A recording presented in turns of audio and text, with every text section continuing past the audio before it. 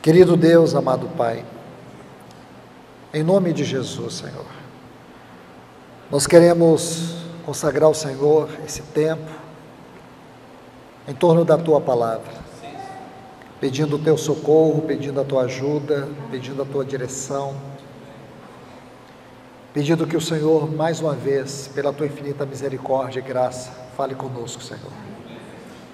Mais uma vez, Senhor, nos abra a tua palavra desde os teus céus e ministra ao nosso coração a tua vontade. Em nome de Jesus, amém. amém. Amados irmãos, irmãs, vamos abrir aqui as nossas Bíblias. Primeiro, Gálatas capítulo 4, versículo 19. Gálatas capítulo 4, o versículo 19. Aqui nós vamos para o último estágio da vida de Paulo. Meus filhinhos, por quem de novo sofro dores de parto, até Cristo ser formado em vós. 1 Timóteo, capítulo 1, versículo 15. Fiel é a palavra e digna de toda aceitação que Cristo veio ao mundo para salvar os pecadores, dos quais eu sou o principal. Então, esses são os dois textos que compreendem os últimos anos da vida de Paulo, a última fase, o último estágio da sua vida. Como eu disse desde a introdução, esse último estágio de 11 anos da vida de Paulo foi um tempo marcado por prisões, por injustiças, por aflições, perseguições. Aqui Paulo esteve no corredor da morte.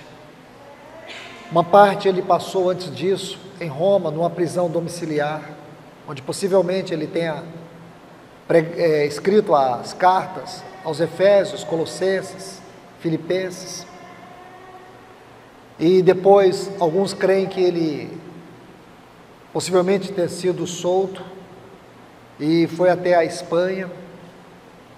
E depois ele foi preso, levado ao corredor da morte e aí foi decapitado. Mas o que sabemos é que nessa última fase da sua vida, Paulo sofreu muito. Paulo foi profundamente afligido por sofrimentos. Porém, quando você estuda toda essa trajetória, você não encontra um homem desanimado. Você não encontra um homem frustrado, um homem decepcionado. Você encontra um homem quebrantado. As duas palavras que definem esta última fase da vida de Paulo é sofrimento e quebrantamento. Sofrimento e quebrantamento.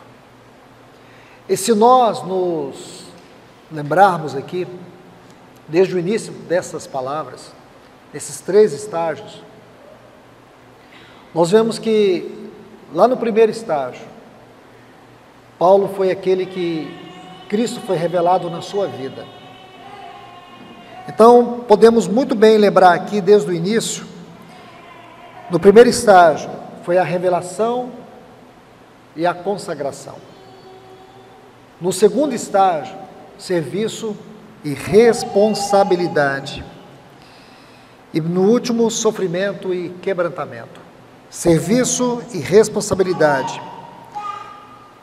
Sofrimento e quebrantamento. No primeiro estágio, nós vimos os textos.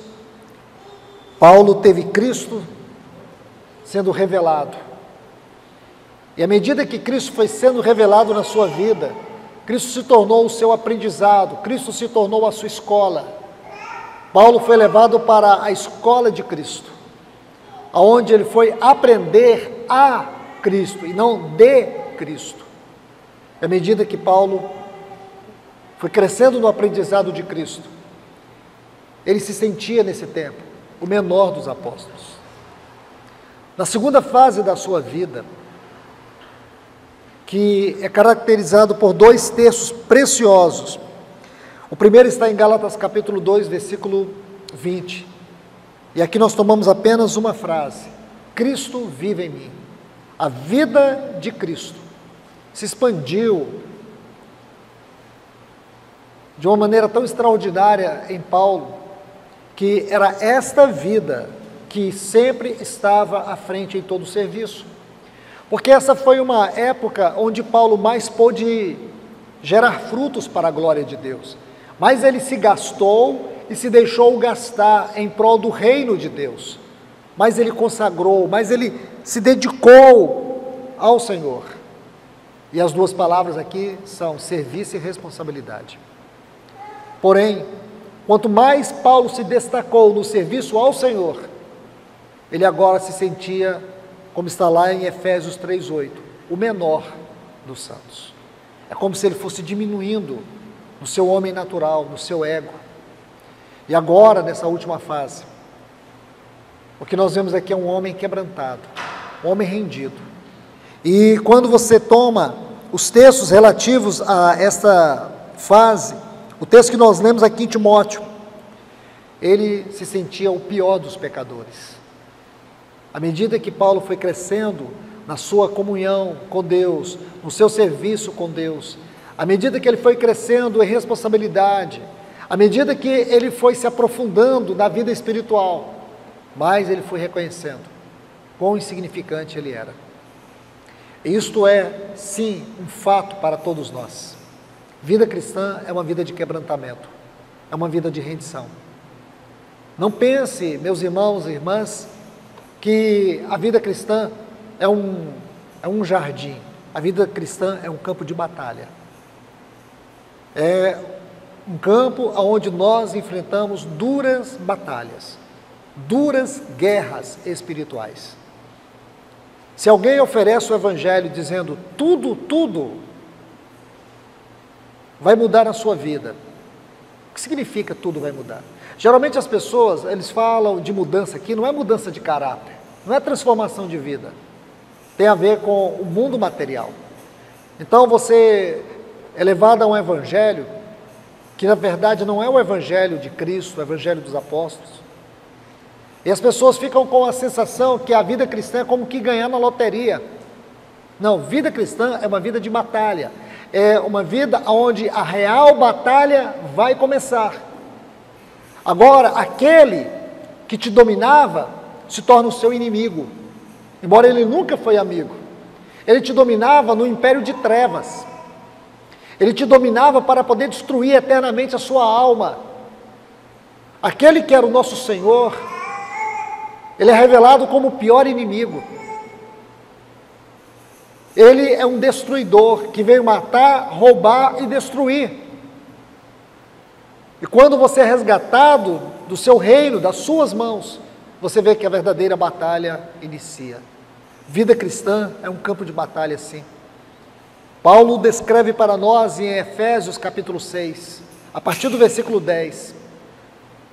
Ele vai falar sobre essa batalha. É uma batalha contra principados, potestades, dominadores deste mundo tenebroso e hostes espirituais da maldade. Ele fala de guerras, guerras interiores, guerras exteriores. Ele vai mostrar para nós que as armas da nossa milícia, dessa guerra, não são armas carnais, são armas poderosas em Deus. Então, Paulo vai nos mostrando, ao longo das suas cartas, o teor dessa batalha a natureza dessa batalha, como o inimigo nos odeia, como ele é persistente em nos destruir. Porém, agora você descobre que o seu sofrimento tem um significado, você não sofre sem causa, você não luta sem causa. Há uma causa pela qual nós lutamos, há um porquê nós sofremos. Existe uma razão muito maior, não é o sofrer por sofrer, nós não sofremos como, como sendo um, vítimas de um Deus cuja ira é desenfreada. Não. Nosso sofrimento, ele é didático. Nosso sofrimento tem a ver com o caminho da cruz. Esse caminho pelo qual nós temos que caminhar, temos que andar. Sofrimento é um instrumento de transformação na vida do cristão.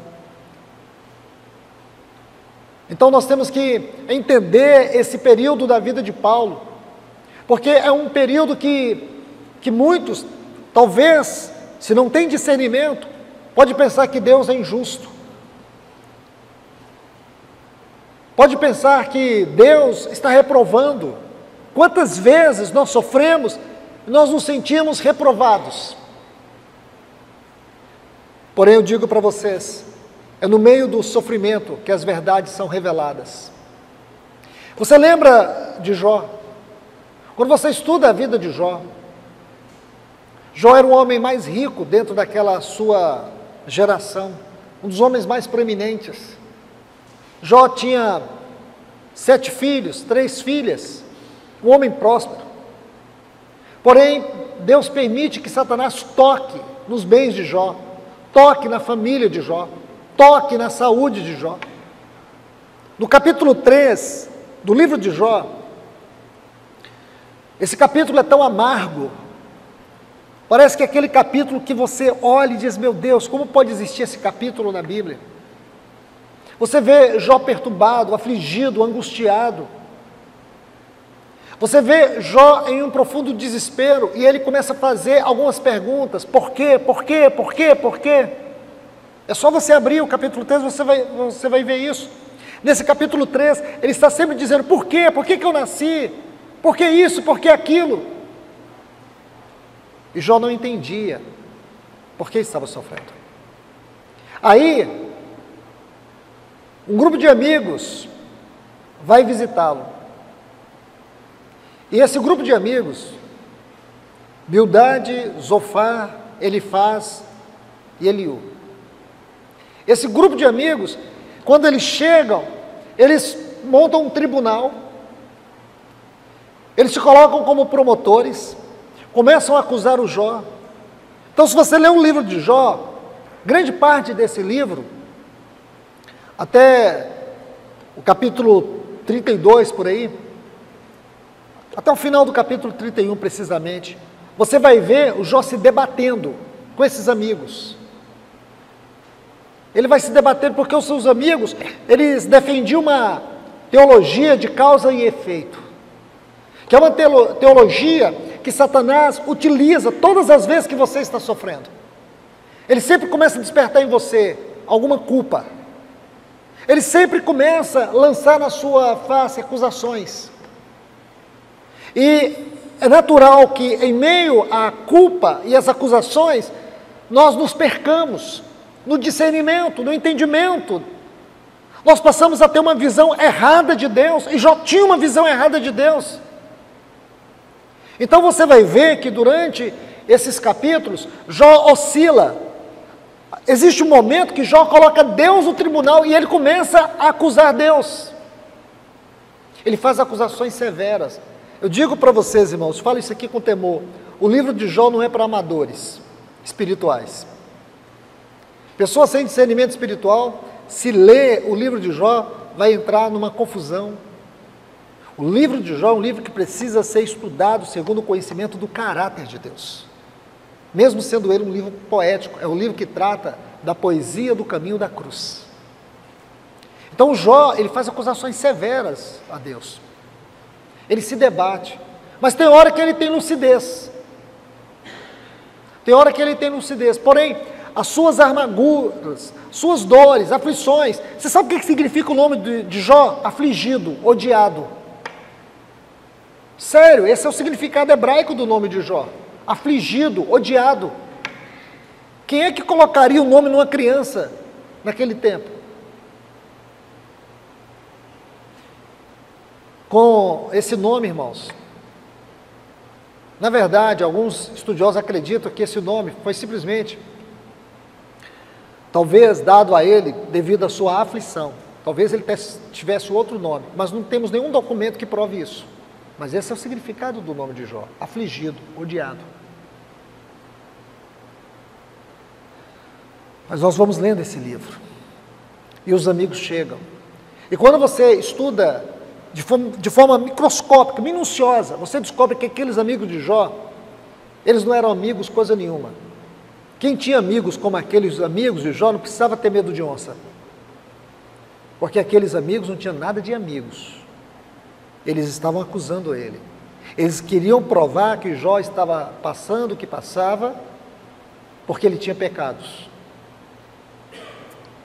Irmão, se Deus fosse tratar conosco segundo os nossos pecados, sabe onde nós, eu especialmente, estaria no inferno. Deus não trata conosco segundo a nossa justiça, Ele trata conosco segundo a sua justiça. Mas aí fica pior, porque a justiça de Deus faz com que a sua ira se derrame. E sabe o que, que Deus fez, irmãos? Ele pegou seu único filho e fez com que seu filho fosse nossa justiça.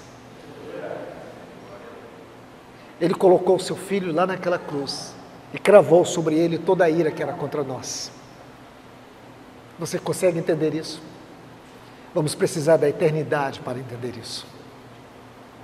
Essa é a justiça do Calvário.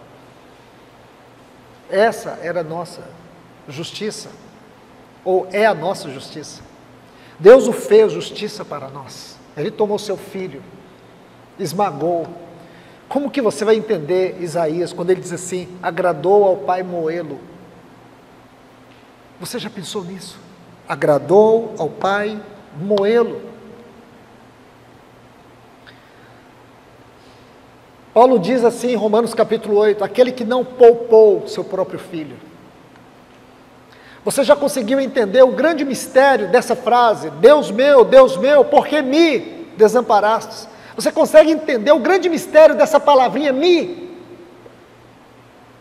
Porque Jesus, ele aprendeu e sofreu o abandono. Ele veio para os que eram seus e os seus o abandonaram. Ele sempre sofreu abandono. Em Nazaré, ele foi abandonado pelos seus. Ele foi abandonado pelos seus discípulos. Ele suportou toda forma de abandono, mas ele não suportou naquela cruz o abandono do Pai. E Deus o abandonou naquela cruz por causa de você, por causa de mim, por causa de nós. Deus o desamparou ali, para que nós não fôssemos desamparados no inferno. Então você consegue entender? Então os amigos de Jó, eles defendiam essa teologia de causa e efeito. Mas você vai descobrir também que os amigos de Jó não eram tão amigos assim. Parecia assim, o que fica subentendido na leitura dos capítulos, que Jó era um grande negócio para os seus amigos. Sabe aquela amizade por afinidade ou por interesse? Talvez eles tivessem alguma afinidade de negócio ou interesse em negócio. Não eram amigos. Até que aquele que era o mais jovem, o Eliú, ele se levanta. Ele fala por último, por ser o mais jovem. E quando o Eliú se levanta, o Eliú, ele abre a palavra de Deus para Jó. Isso é muito importante, irmãos. Porque o sofrimento pelo sofrimento não significa nada na vida do cristão. É o sofrimento mais a palavra de Deus que gera caráter transformado. Então, quando nós sofremos, nós temos que estar sustentado pela palavra. Você lembra do Salmo 23? Esse salmo, todos nós lemos esse salmo de uma maneira 100% positiva. A gente lê assim: O Senhor é o meu pastor e nada me faltará. Isso para a confissão positiva, para o evangelho da prosperidade, é um salmo que eles usam, até estufam o peito. Mas esse salmo diz assim: O Senhor meu pastor, nada me faltará. Não é verdade? Nada. O que, é que não vai nos faltar ali? Nada. Não é bem assim, irmãos. O Senhor meu pastor, nada me faltará. Ponto. Ele nos faz deitar em passos verdejantes. Ele nos guia com a sua vara e com o seu cajado, as águas tranquilas, refrigera a nossa alma guia-nos pela vereda da justiça, não é verdade? Mas também Ele nos faz passar pelo vale da sombra da morte. Tem pastos verdejantes? Tem na nossa vida. Tem águas tranquilas? Tem.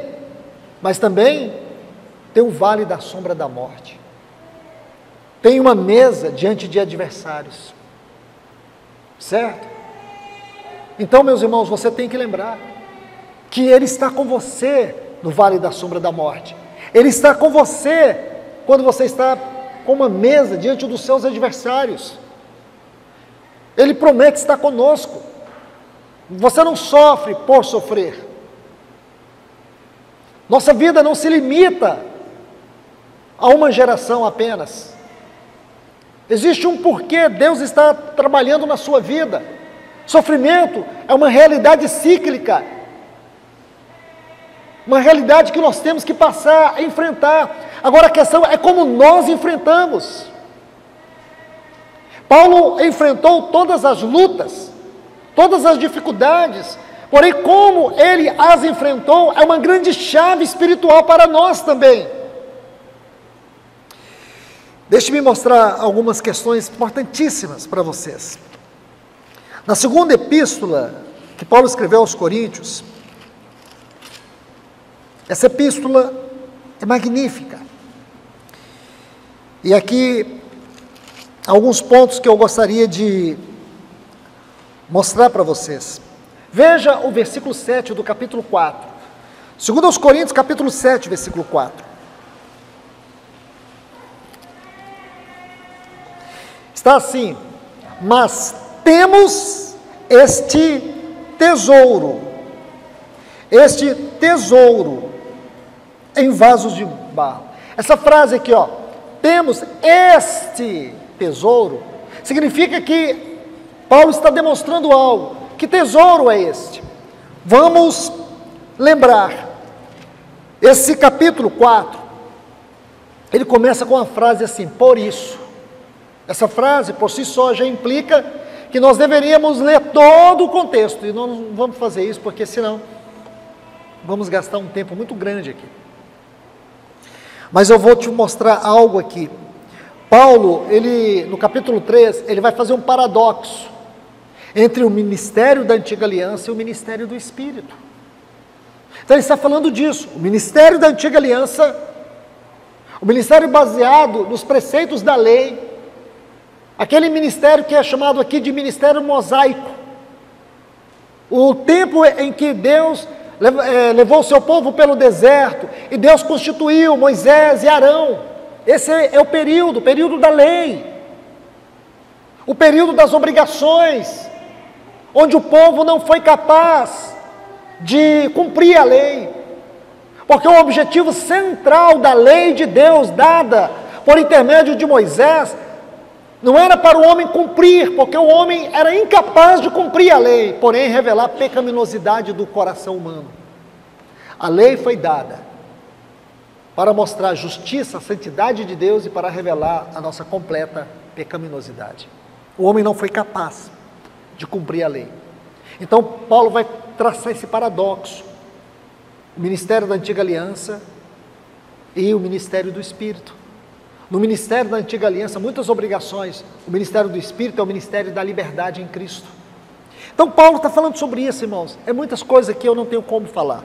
Porém, quando ele chega no versículo 1 do capítulo 4, ele diz: Por isso, por isso, ele está dizendo assim, vou ler apenas o, os versículos finais do capítulo 3, porque ele vai dizer assim: que lá na antiga aliança havia um véu, um véu que estava sobre todos os israelitas, eles tinham um véu, eles não eram capazes de ver a, a, a liberdade do Espírito, o ministério do Espírito.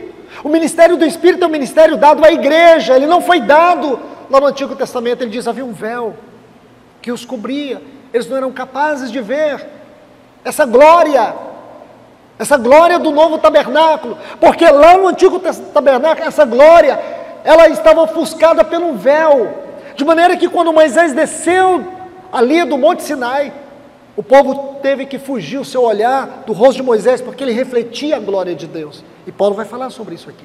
Então ele diz assim, no versículo 17: Ora, o Senhor é Espírito, e onde está o Espírito do Senhor, ali há liberdade. E todos nós, com o rosto agora foi desvendado, como que olhando em um espelho a glória do Senhor, Vamos sendo transformados de glória em glória, na mesma imagem, como pela ação do Espírito do Senhor. Então, observe bem, nós estamos sendo transformados de glória em glória. Essas duas preposições, de e em, precisam ser realçadas aqui. Porque quando você olha essa frase de glória, de aqui, no texto original, que é o texto grego, fala da origem, da onde procede. Então aqui nós temos duas esferas de glória, que compreende no plano de Deus, na ótica de Deus, no espaço de Deus, uma coisa só. Porém, uma para nos mostrar da onde procede e a outra da onde converge. Compreende? Então nós estamos sendo transformados de glória em glória. De glória em glória, daquela glória para aquela glória. Ele está dizendo isso.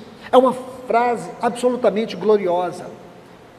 O que nos ajuda a entender isso está em Efésios capítulo 1, versículo 4, quando diz assim: Nos escolheu nele antes da fundação do mundo. Antes. Deus, ele propôs um plano em si mesmo. E esse plano que Deus propôs em si mesmo é que ele desejou ter uma filha, é, uma família de filhos, conforme o seu filho. Então ele nos escolheu nele, em Cristo antes da fundação do mundo, ele estabeleceu esse plano, esse propósito de glória. É isso que está dizendo. Essa primeira frase aponta para isso. Então ele está dizendo que nós estamos passando por um processo de metamorfose. E é isso que Paulo está dizendo aqui no capítulo 4 de Gálatas, versículo 19. O final disso é Cristo sendo formado em nós. Nós fomos escolhidos nele, estamos sendo transformados pelo poder da sua vida, através do trabalho do Espírito Santo, através da circunstância, através da palavra. O Espírito Santo toma tudo isso para nos transformar, para formar Cristo em nós. É um trabalho duro, árduo, por causa dessa natureza. Então o Espírito Santo está fazendo isso. E qual é o final disso? Um dia, Cristo será formado plenamente em nós será de glória em glória. Então, de da onde procede e em da onde converge. Aí ele está dizendo assim: pela ação do Espírito do Senhor. Aí diz: por isso, por isso, tendo este ministério, capítulo 4, versículo 1. Que ministério que Paulo está dizendo aqui? É o ministério do Espírito. Preste atenção, irmãos, porque isso é muito glorioso. Nós temos temos. Por isso que eu parei lá no versículo 7, peguei a palavra temos, senão não vamos saber o que temos. Então, isso, irmãos, tem que, tem que ser interpretado de acordo com a hermenêutica. A hermenêutica é a ciência da interpretação da Bíblia. Ninguém tá, interpreta a Bíblia porque imagina. Ninguém, ninguém pode interpretar a Bíblia porque acho. Achoologia é do diabo. Então nós não temos achoologia, tem que ter uma ciência as palavras têm que conectar, as frases precisam entrar uma na outra. Então nós não podemos aqui imaginar, supor. Não. Aqui é a palavra de Deus. O Espírito Santo tem que nos ajudar a interpretar. Temos este ministério. Que ministério aqui? Versículos 17 e 18 vão nos mostrar. Nós temos o ministério do Espírito. O Espírito foi dado a nós, ele está fazendo uma obra. Temos este ministério, segundo a misericórdia que temos recebido. Aí, bom, ele vai fazer uma exposição. Aí, quando chega aqui no versículo 7, eu não vou abordar os outros versículos, porque Paulo vai guiar sobre vários temas, sobre vários tópicos aqui, dos versículos 2 até o 6. Porém, quando chega no versículo 7, ele volta ao assunto que ele começou no versículo 1. Isso chama-se digressão. Digressão. Sabe o que é digressão? É um parêntese na didática. Então, Paulo vem falando o assunto, ele comete muito isso. Aí ele para, ele faz uma digressão. Aí no versículo 2 até o versículo 6, ele faz essa digressão. Certo? Aí ele volta no versículo 7. Lá no versículo 1 diz: temos este ministério. Aqui ele vai dizer assim: mas temos este tesouro, este tesouro em vasos de barro. Que tesouro é esse que nós temos nesse vaso de barro aqui? É a habitação do Espírito, é o ministério do Espírito. Aí diz assim: temos este tesouro em vaso de barro, para que a excelência do poder, poder, seja de Deus e não procede de nós. Aí ele vai dizer assim: nós que estamos atribulados, Em tudo, mas não angustiados. Em apuros, mas não desesperados. Perseguidos, mas não desamparados. Abatidos, abatidos, mas não destruídos. Levando sempre no corpo, por todas as partes, a morte de Jesus, para que também a vida de Jesus se manifeste em nosso corpo. Que leitura linda é essa, irmãos? Aí você começa a entender o que realmente o Senhor está fazendo. Olha o final do versículo, aliás, desse capítulo 4. Ele vai dizer mais uma vez: por isso, porque ele continua, por isso aqui é uma conexão, não é um novo assunto. Por isso, ele estava falando justamente disso. O cristão, ele vive essas duas realidades: a realidade da vida natural e a sobrenaturalidade da vida celestial. Irmãos, vocês estão me entendendo? Eu vou repetir mais uma vez. Nós, cristãos, vivemos a naturalidade da vida terrena, do corpo dessa carne. Mas não esqueça, nós vivemos a sobrenaturalidade da vida espiritual. Ele vai dizer isso aqui agora. Olha o que ele diz. Por isso, não desmaiemos. A palavra aqui é: você não, não, não naufrague, não caia. Mas ainda que este homem exterior, por causa das tribulações, está vendo aqui, por causa dos apuros, por causa das perseguições, se esse homem exterior que sofre, que é angustiado, que é afligido, que é perseguido, esse homem exterior, a palavra se corrompe aqui dá a ideia de pecado. Ele não está falando de pecado, irmãos. Isso aqui é torcer a palavra de Deus. Quando ele fala de corromper aqui, tem a ver com o que ele está dizendo nos versículos 8 e 9. Esse corromper aqui está falando de atribulados, em apuros, perseguidos, abatidos. Ele está dizendo isso. Sofrer o dano, sofrer o, sofrer o dano da luta, sofrer o dano do sofrimento, sofrer o dano das tribulações, das perseguições. E diz ainda que esse homem exterior sofra o dano de todas as tribulações, lutas, sofrimentos. Olha o que ele diz: o interior Existe um homem interior.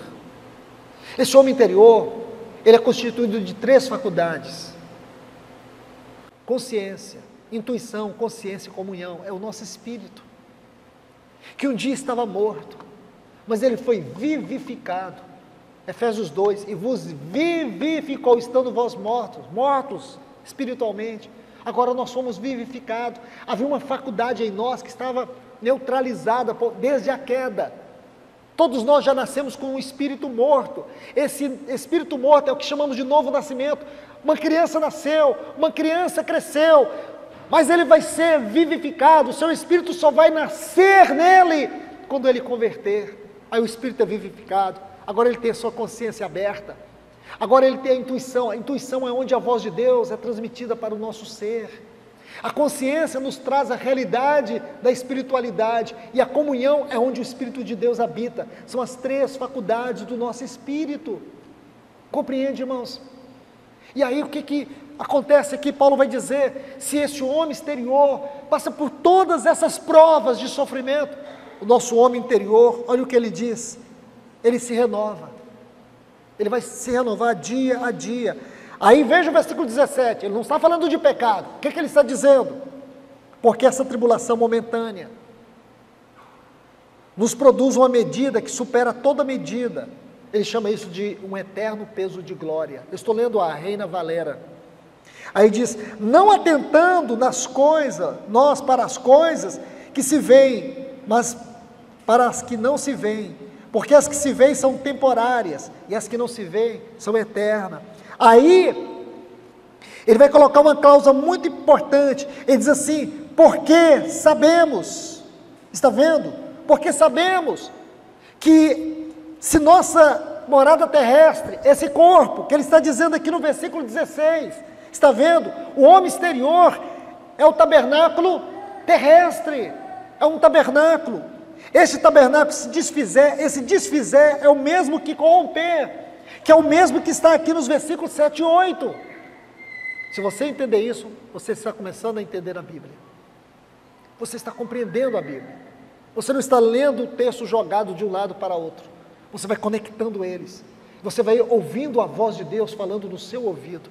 Se esse homem exterior, se esse tabernáculo terrestre, ele se desfizer, ele se corromper, mesmo que ele seja atribulado, mesmo que ele esteja em apuros, mesmo que ele esteja perseguido, mesmo que ele seja abatido, olha o que ele diz, está vendo aqui?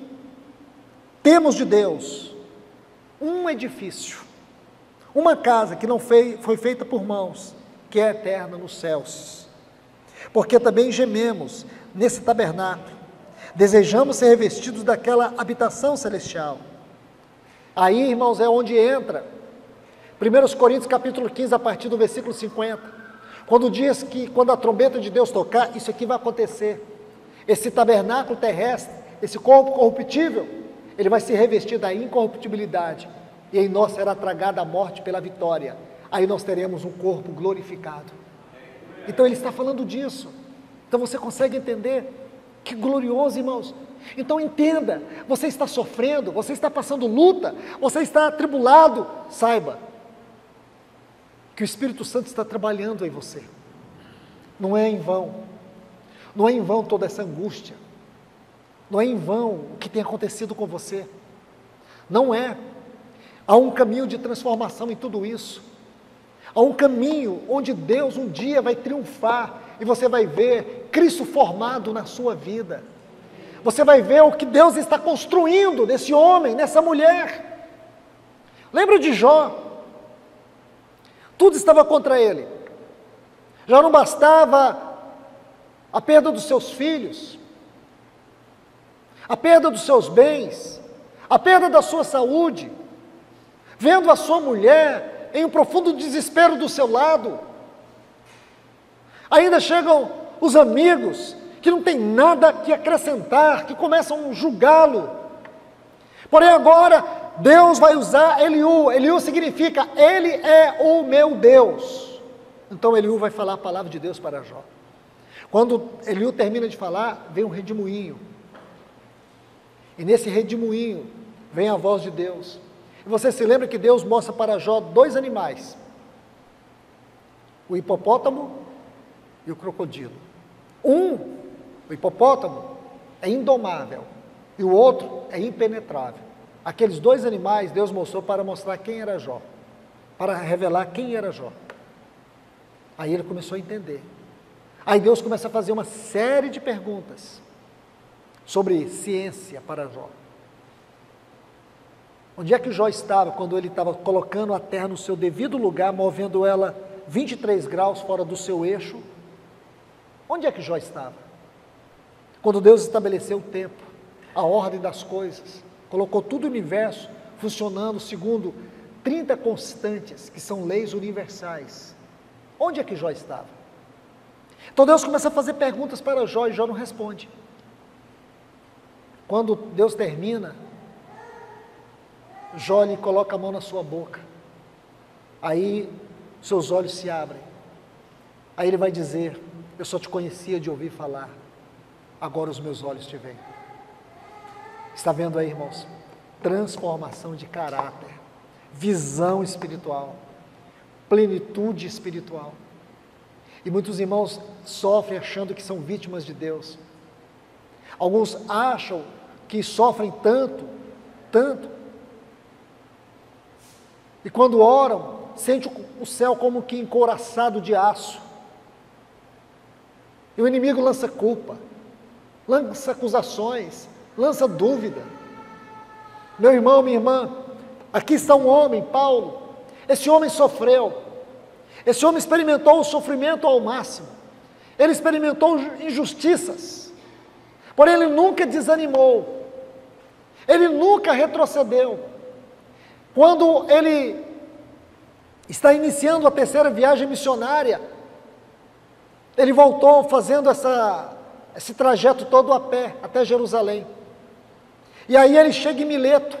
Quando ele para lá em Mileto, ele convoca, convida os irmãos, os presbíteros de Éfeso. E os irmãos estavam preocupados com Paulo, porque já havia uma profecia que dizia para ele que cadeias ou esperavam em Jerusalém.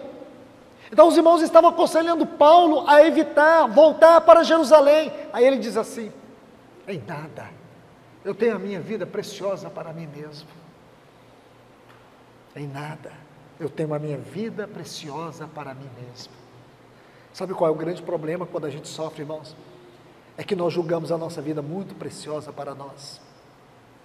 É que nós achamos que muitas vezes nós não deveríamos sofrer. O irmão Charles Swindoll, ele fala assim: nunca confie num homem que não saiba o que é sofrimento. Nunca. Esse evangelho indolor não é o evangelho da cruz. Esse evangelho onde as pessoas procuram negar o sofrimento e mostrar um Deus completamente diferente do Deus do Calvário, o Deus que sabe o que é sofrer porque ele perdeu seu filho. Ele, ele viu seu filho esmagado pela injustiça dos homens na cruz. Então, meus irmãos e irmãs, nós temos que entender a natureza do sofrimento segundo a palavra de Deus. Paulo fala aqui sobre o peso de glória que nós devemos experimentar. Você já ouviu falar de John Owen? Um puritano. John Owen foi um homem dedicado ao Senhor por toda a sua vida. Ele teve 11 filhos. 11 filhos John Owen teve. Sabe quantos filhos morreram? Todos.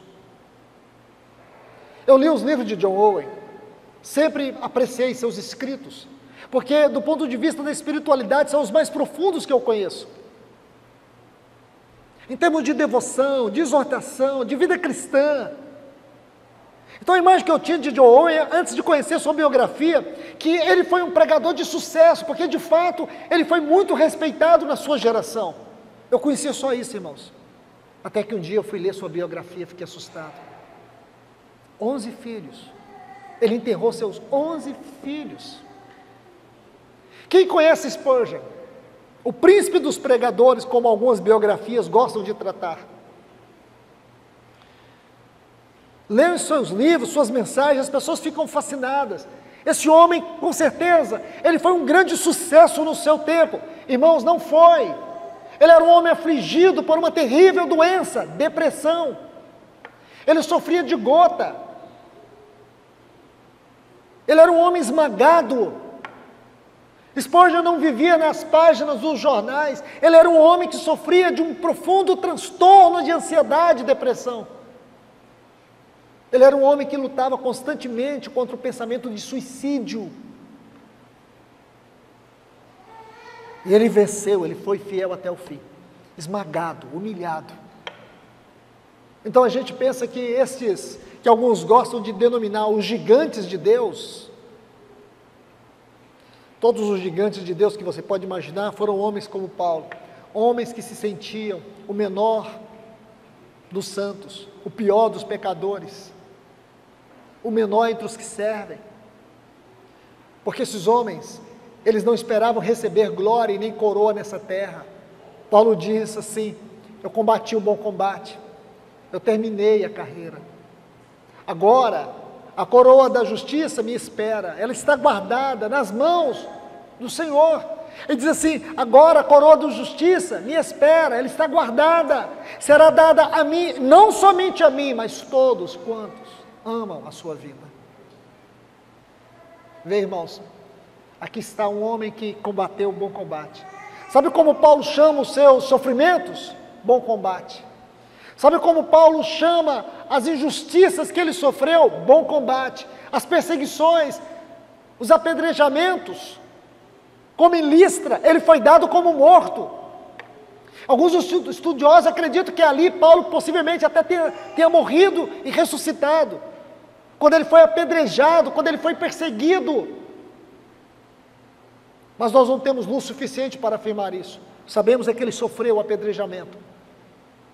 Essa foi a vida de Paulo nessa última fase. Será que você está preparado para isso? Nós não temos como fugir, irmãos. Quem acha que a vida nessa terra é um grande jardim para se viver está enganado. O futuro é sombrio. As notícias são desesperadoras. Mas não olhe para as notícias, olhe para o trono, porque é o trono que governa. Então, meus irmãos e irmãs, preste atenção. Aqui está um homem que venceu, aqui está um homem que batalhou, aqui está um homem que não regrediu, não retrocedeu. Aqui está um homem que ele diz: sede meus imitadores. Porque ele tinha um padrão. Paulo não está apontando para ele, está apontando para o padrão. Eu sou imitador de Cristo. É aqui que ele quer que você entenda. Quando ele diz assim, lá em Filipenses 4, posso todas as coisas daquele que me fortalece. Aonde esse evangelho coach tenta chamar a sua atenção na frase posso todas as coisas. E não é.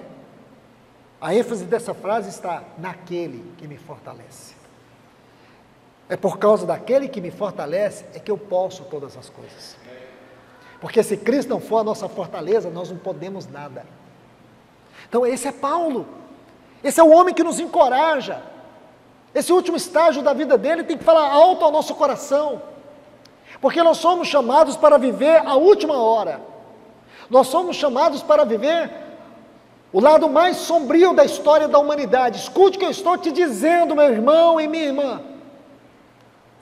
Nós fomos chamados para viver na hora mais escura da história da humanidade o período que vai anteceder a volta de Jesus. Esse é o período em que as trevas cobrirão com extrema intensidade toda essa terra. O período da grande confusão moral, espiritual, da grande convulsão social. Nós já estamos vendo, não digo que veremos, nós já estamos vendo coisas que chegam a nos assustar. Não é coisas que são inacreditáveis, que são tão absurdas, que foge à lógica, ao bom senso, à moral e à dignidade. Estamos vendo coisas que com certeza você não imaginaria ver há 10 anos atrás. Estamos vendo hoje. O que nós estamos assistindo é o cúmulo dos horrores no sentido da moral, da ética, do bom senso, da dignidade. É o que nós estamos vendo. Porém, irmãos, nós não vamos abaixar nossas cabeças. Nosso Senhor Jesus disse era, lá em Lucas capítulo 21, é para nós levantarmos as nossas cabeças. Ele não diz para nós nos entristecermos, ele diz para nós exultarmos, exultarmos, porque o, o nosso Rei está chegando, o nosso Senhor Jesus está voltando, e nós temos que ter certeza que estamos indo ao seu encontro. Sim, Há muitos irmãos sofrendo? Sim. Casamentos de cristãos estão acabando. Eu estou vendo isso em muitos lugares. Cônjuges abandonando seus lares. Que tristeza! Doenças, enfermidades, tantas dores. Porém, irmãos, nós temos que saber de uma coisa: nossa vida está nas mãos de Deus. Nosso socorro vem do alto. Nós temos um sumo sacerdote sentado no trono. Ele é misericordioso e fiel. E ele não nos desamparará. Ele não nos abandonará. Ele não nos deixará sós nesse mundo. Ele está nos conduzindo à sua glória. Então você tem que entender isso. Sofrimentos são profundos, cicatrizes, mas olhe para o Senhor. Olhe com muita coragem para o Senhor. Eu quero ler aqui no capítulo 12 e vamos encerrar por aqui. O capítulo 12 de 2 aos Coríntios, essa primeira parte desse capítulo tem um ponto que para muitas pessoas é uma situação nevrálgica, complicada, porque aqui fala do espinho da carne de pau. Teve irmãos que já escreveram livros sobre o espinho da carne de pau. É tantos absurdos, irmãos, que foge a lógica e bom senso. Por uma única razão. desconhecimento da palavra de Deus e das regras da interpretação. A hermenêutica, como eu disse, é a ciência da interpretação. A lei fundamental da hermenêutica é a Bíblia interpreta a própria Bíblia. A Bíblia interpreta a si mesma. A segunda lei diz assim: enquanto for possível, você deve tomar o texto no sentido usual ordinário. A terceira lei diz assim: que você sempre deve ler o texto considerando o seu contexto. A quarta lei diz: sempre que você lê o texto, também considere textos paralelos. A quinta lei diz: procure conhecer o objetivo e o desígnio do livro. Quando você lê o capítulo 12, Paulo vai dizer algo muito especial. Ele diz: Certamente não me convém gloriar, mas verei as visões e as revelações do Senhor. Sei de um homem em Cristo. Aqui Paulo faz uma definição do que é o cristão. O que é o cristão? Aqui Paulo define: o cristão não é uma pessoa convertida a uma denominação. O cristão é um homem, é uma mulher em Cristo. Um homem ou uma mulher em Cristo. Conheço um homem em Cristo, que há 14 homens, anos, que há 14 anos, se no corpo não sei, se fora do corpo não sei, Deus sabe, foi arrebatado até o terceiro céu. E, se que, e sei que tal homem, se no corpo ou fora de corpo, Deus é que sabe, foi arrebatado ao paraíso e ouviu palavras inefáveis, as quais não é permitido ao homem expressar. De tal homem, está vendo aqui? De tal homem me gloriarei, porém de mim mesmo não me gloriarei, a não ser em minhas fraquezas. A palavra aqui é debilidades, incapacidades, gloriar nas fraquezas. Esse homem aqui, Paulo está falando de si mesmo, ele está se ocultando. Aí ele diz assim: Contudo, se quisesse me gloriar, não seria insensato, porque diria a verdade, mas me abstenho disso, para que ninguém forme a meu respeito uma ideia superior ao que vê em mim ou que de mim ouve. Então, Paulo, ele nunca buscou preeminência, nunca buscou reconhecimento, nunca buscou vanglória, ou glória própria, nunca. E aqui ele está demonstrando isso. Apesar do seu ministério tão eficaz, tão frutífero, tão abençoado, apesar de ser um homem que teve uma experiência tão grande, tão profunda, a ponto de ser arrebatado até o paraíso e ouvir palavras que aos ouvidos humanos não compete ouvir. Então, Paulo está dizendo algo sobre a sua experiência, sobre a sua vida, sobre o seu ministério. Aqui ele coloca vida e ministério diante dos irmãos. Ele está dizendo: não me convém gloriar. Eu não sou digno de glória alguma, de ser reconhecido. Pelo que as pessoas ouvem ou veem em mim, eu não mereço isso. Porque a única glória que eu tenho é de ser um homem débil, fraco, incapaz. Que coisa, irmãos. Você já ouviu algum pastor presidente, algum pregador proeminente ter essa ousadia? Hoje as pessoas buscam visibilidade, reconhecimento, proeminência, sobrepujar a igreja, ter os melhores lugares, aqui e lá na glória. Que triste, irmãos. Porque ao contrário do nosso Senhor Jesus, ao contrário de Paulo, esses homens querem glória, querem aplauso, querem títulos. Alguns são chamados até de reverendo, homens dignos de reverência. Esse título é abominável. Acho que de todos títulos eclesiásticos, esse para mim é o mais abominável. Ministério não é título, ministério é função. Ministério não é um clérigo, um sobrepujando o outro. O primeiro, o segundo, o terceiro, o quarto presidente, não é isso, irmãos. Sabe, Paulo diz assim lá em 2 Coríntios capítulo 10, que a autoridade que ele recebeu foi para servir. Foi para servir. Não foi para mandar, não foi para sobrepujar, para servir. A única coisa que eu sei é que nós somos ovelhas de frente, os primeiros a receber os ataques. Os primeiros que, se tiver, tem que morrer. Se alguma coisa acontecer com o rebanho, nós temos que ser os primeiros a receber os açoites. não é se esconder de trás do rebanho. Então isso é fato, irmãos. Porque é esse evangelho que nós pregamos. É com estes homens que nós fomos chamados a correr a carreira cristã. Eles já correram a parte deles, agora nós temos que correr a parte deles na mesma estrada. Estão entendendo?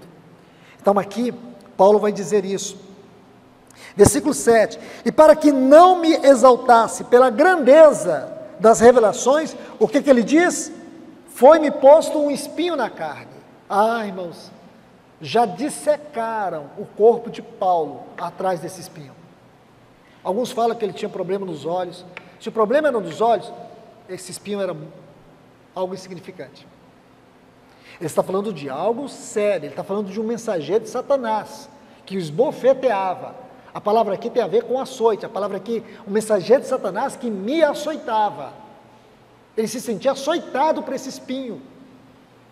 Então, já tentaram achar na visão dele esse espinho. E não era, irmãos. Não era. Porque para mim isso aqui está claro. Ele está falando de fraquezas, de debilidades, de sofrimentos.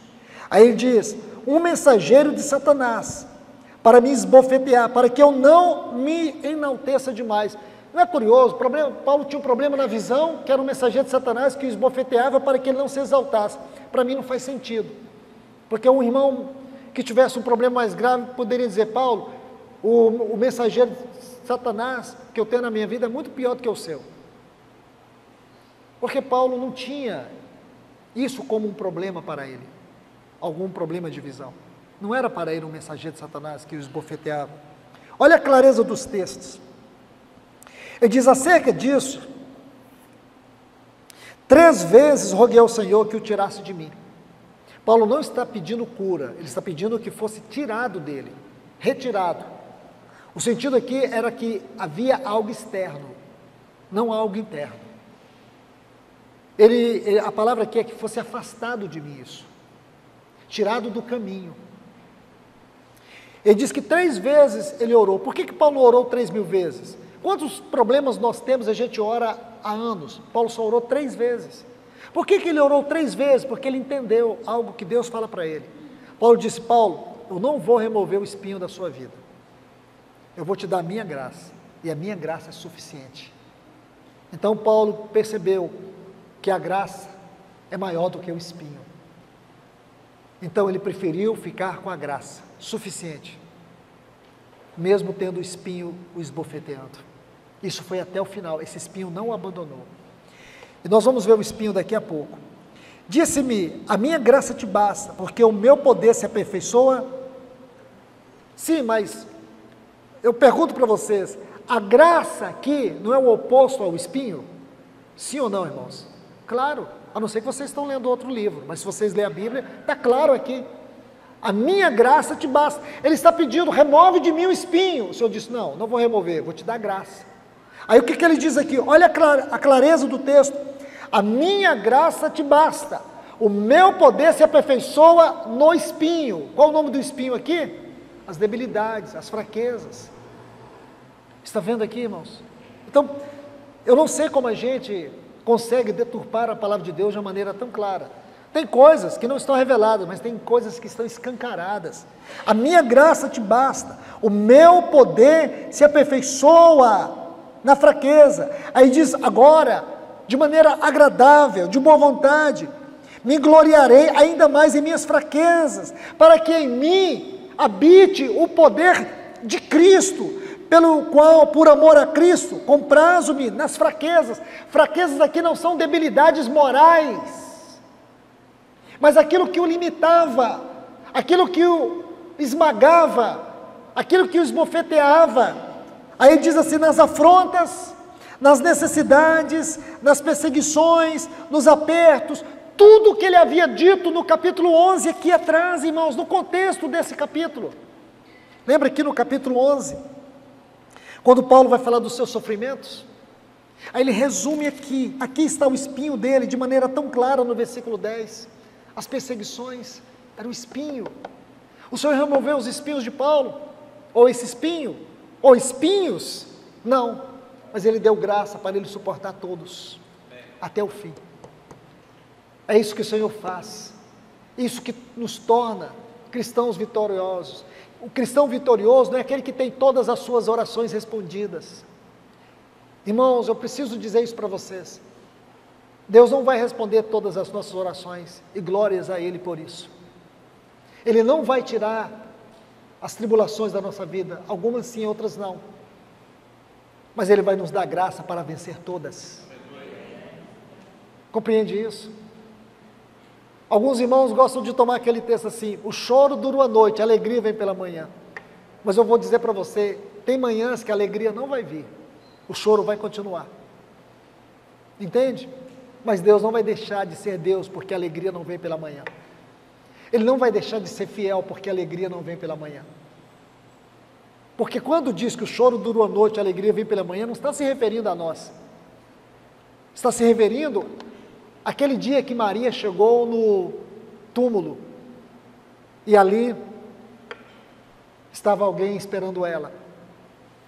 E ela estava chorando, chorando. E aquela pessoa diz assim para ela: Por que choras?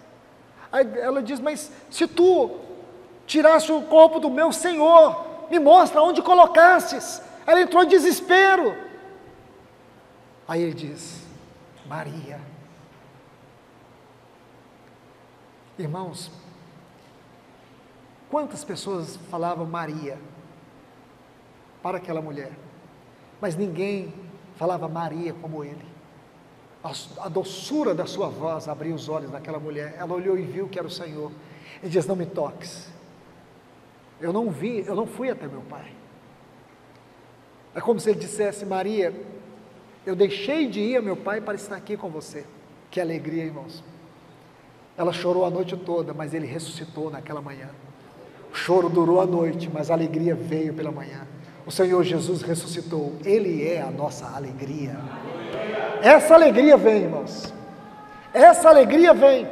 Muitas vezes não vem a alegria da minha carne, mas a alegria para nós não é um estado, não é uma condição, Paulo diz assim: alegrai-vos no Senhor.